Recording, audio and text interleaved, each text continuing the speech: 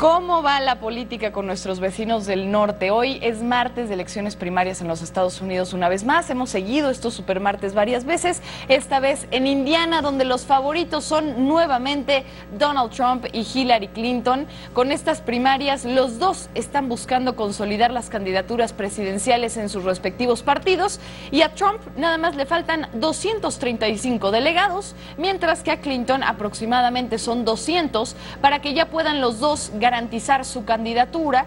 Y bueno, aunque la primaria de Indiana no les va a dar esos delegados, sí les va a servir para sepultar ya a sus adversarios.